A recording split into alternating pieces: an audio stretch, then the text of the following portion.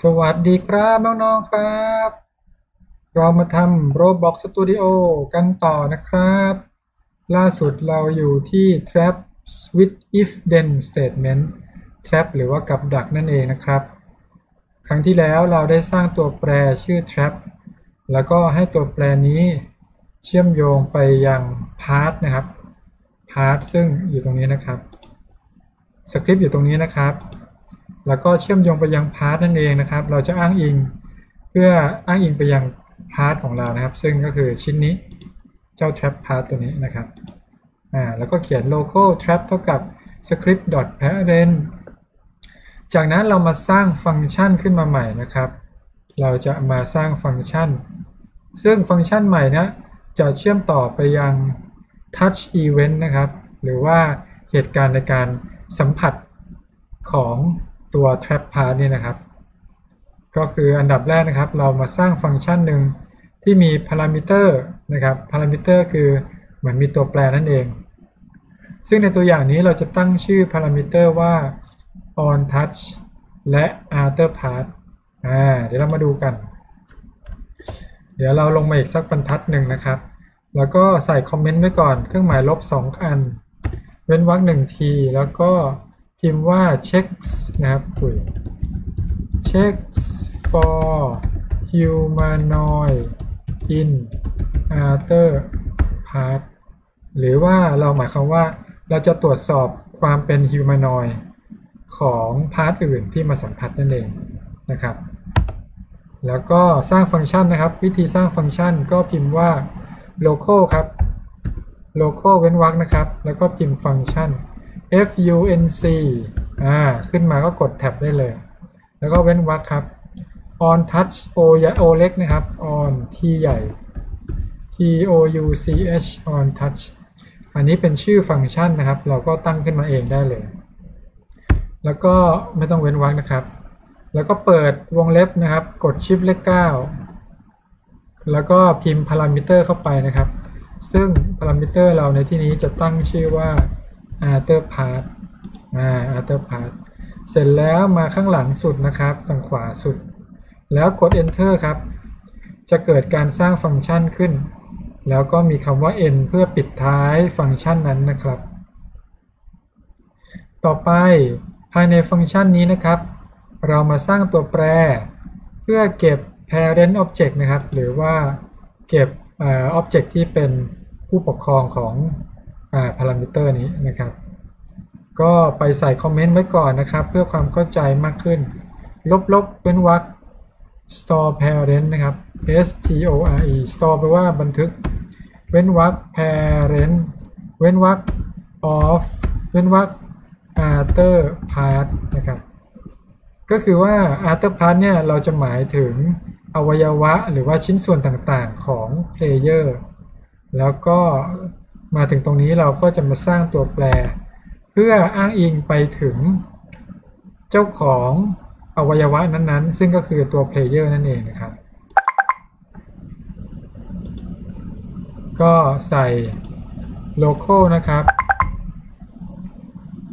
โอเค local นะครับเป็นวรรค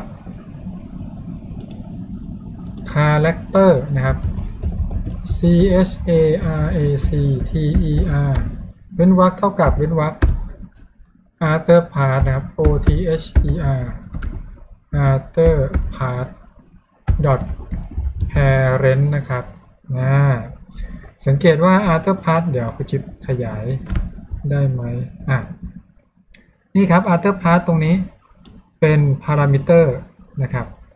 ซึ่งเวลาเราเรียกใช้ฟังก์ชันเนี้ย เราก็ใส่ค่าเข้ามาตรงนี้ มันก็จะเหมือนเอาค่านั้นมาใส่วางตรงนี้ได้เลยนะครับ อ่า ก็คือตัวแปรคาแรคเตอร์ถูกสร้างขึ้นเพื่ออ้างอิง ไปยังผู้ปกครองของ After Part นะครับ เอาละต่อไป อ่า ทีนี้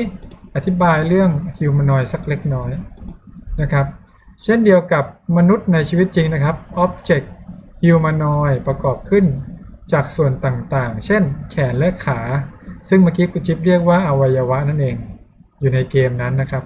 เฉพาะอวัยวะบางส่วน เฉพาะของ humanoid เช่น ขาที่จะแตะกับกับดักนะครับ หรือว่า trap ในการเปลี่ยนแปลง health หรือว่าค่าชีวิตของ humanoid นั้นเนี่ยสคริปต์นะครับจะจำเป็นจะต้องหาเจ้าของ เจ้าของของอวัยวะหรือว่า part นั้นนะครับ หรือ parent ของขานั้นนะครับ other part dot parent เป็นวิธีการจัดเก็บ parent นะครับ หรือผู้ปกครองของชิ้นส่วนหนึ่งหนึ่งซึ่งหมายถึงอวัยวะนั่นเอง เพื่อเรียกใช้ในภายหลังเอาละครับ หลังจากที่สร้างตัวแปรเสร็จนะครับ เราก็จะเชื่อมต่อฟังก์ชันนี้นะครับ เข้ากับ touch event หรือว่าเหตุการณ์การสัมผัสของ tab part เพื่อว่ามันจะได้ฟังก์ชันนี้จะได้รันเมื่อใดก็ตามที่มีอะไรบางอย่างมาสัมผัสกับกับตัว trap part นั่นเองนะครับวิธีการนะครับก็คือ ไปที่บรรทัดที่ 10 นะฮะตรงคำว่า n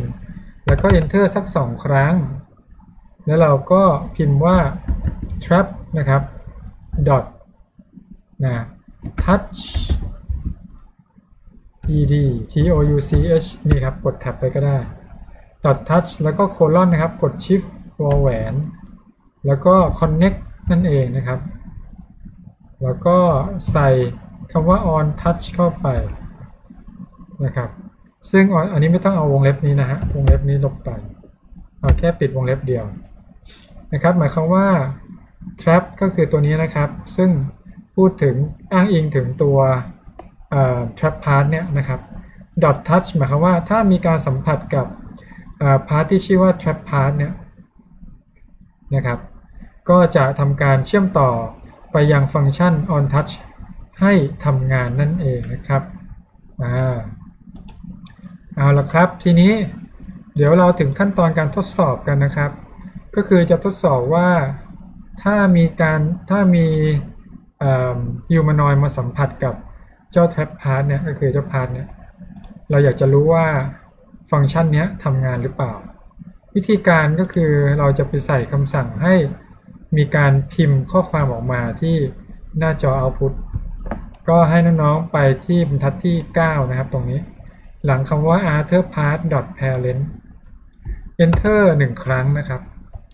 และเรียกแล้วเขียนคำสั่ง print เข้าไป print print แล้วก็เปิดวงเล็บนะครับ แล้วก็ในวงเล็บนี้เราก็จะใส่ข้อความที่ต้องการให้พิมพ์ออกมา ให้ให้คอมพิวเตอร์พิมพ์ออกมา ก็ใส่เครื่องหมายคำพูดก่อนนะครับ แล้วก็พิมพ์คำว่า touching an object อ่า แปลว่ามีการสัมผัสกับวัตถุแล้วนะครับ โอเค ทีนี้เราก็จะทดสอบกันนะครับว่า ถ้ามีคนมาสัมผัส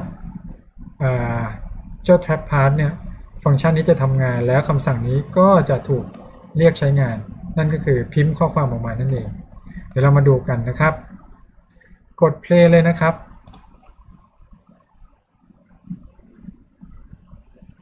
โอเค เราก็จะมีตัวเราโผล่ขึ้นมาใช่ไหมครับ ก่อนอื่นให้มาที่วิวตรงนี้นะครับ คลิกวิวตรงนี้แล้วคลิก Output ด้วยนะครับ อ่าจะเปิดหน้าต่าง Output ขึ้นมา เดี๋ยวเราจะมาดูนะครับ เดี๋ยวเคลียร์ตรงนี้ก่อนอ่าอันนี้ของเก่าเมื่อกี้เอาละครับ เสร็จแล้วเราก็เริ่มเดินดูนะครับ สังเกตว่าข้างล่างนี้ยังว่างเปล่า ลองเดินไปนะครับ ให้สัมผัสกับเจ้า trap part ตัวนี้หนึ่งสองซ้ำนี่ครับ มีข้อความถูกพิมพ์ออกมาแล้วว่า touching an object อ่างั้นแปลว่านะครับ มีการสัมผัสแล้วนะครับ มีการสัมผัส เห็นไหมครับ แล้วดูนะมีตัวเลขคูณแล้วก็มีตัวเลขออกมาเนี่ยแปลว่าสัมผัสไปกี่ครั้งแล้ว ซึ่งเนื่องจากว่าพอเราสัมผัสหนึ่งเนี่ยเขาก็จะนับเด็ดๆอย่างนี้เลย เอาละครับ อย่างนี้แสดงว่าโค้ดของกูจิปเนี่ยใช้งานได้ก็กด stop สำหรับคลิปนี้นะครับ ขอจบเพียงเท่านี้ก่อนแล้วเดี๋ยวเรามาเจอกันคลิปต่อไป สวัสดีครับ